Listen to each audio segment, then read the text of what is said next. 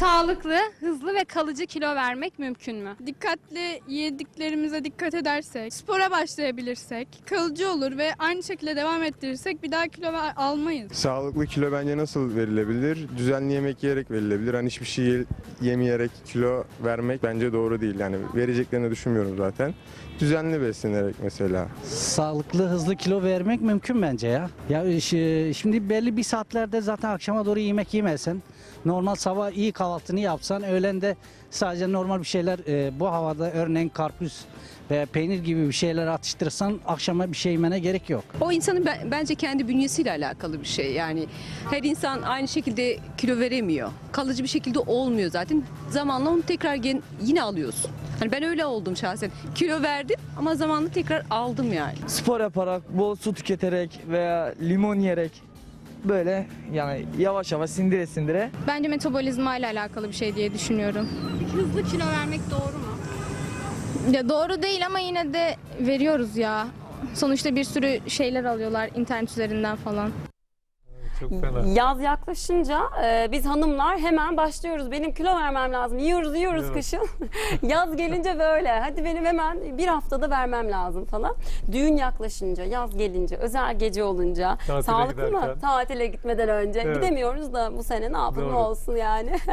Şimdi e, aslında şunu bir belirlemek lazım. Biz kilo fazlalığımız olursa amacımız şu. Vücut ağırlığının azalmasını sağlamak. Artık bugün obezitenin tedavisinde e, bu işte ağır bedenler gibi gördüğünüz kişilerde bile amacımız Evet. vücut dokusundaki yağı azaltmaktır. Bunun yolu çok nettir.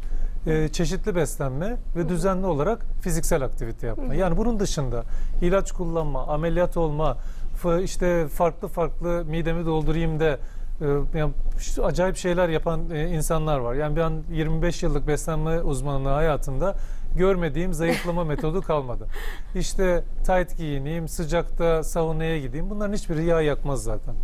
Yağ yakmanın en önemli özelliğinde birincisi kilo vereceksek hızlı mı yavaş mı olacak konusu yıllardır tartışılan bir konudur ama ben klinik tecrübelerime göre şuna inanıyorum.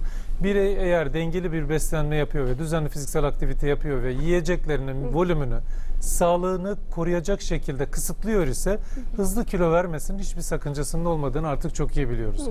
Fakat tek diyet, tek düze diyetler mesela sırf meyve yemek, sırf sebze yemek, sırf et yemek, ekmeği tamamen kaldırmak Sadece gibi. elma yemek o da vardı. Eskiden Evet. çok yaparlardı. Kahveyle uyanıp işte akşamleyin protein yemek gibi.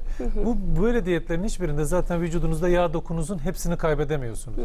Düşünsenize fiziksel olarak vücudunuzun değişmesini istiyorsunuz, sağlıklı olmasını istiyorsunuz, sarkmasını istiyorsunuz. O, ne- o nedenle kilo veriminin hızı ayda 5 kiloyu 6 kiloya geçmediği müddetçe zaten çok da hızlı demek değildir. Düzenli olarak kilo vermek önemli. Fakat işte Amerika Birleşik Devletleri'ndeki yayınlar, Avrupa Birliği'ndeki yayınlar der ki haftada 400 gramla 1 kilo arasında olsun. Dikkat edin sizin mesela 10 kilonuz var. Bir yılda 10 kiloyu veremezsiniz. Verseniz bile mutlu edemez size. Motive olamazsınız. O yüzden ben her zaman uygun sürede uygun kilo vermeyi uygun görürüm. Çünkü orada dediler ki biz işte veriyoruz geri alıyoruz. Evet yanlış hatalı bir beslenme programı yaparsan hızlı ki- kilo alabilirsin.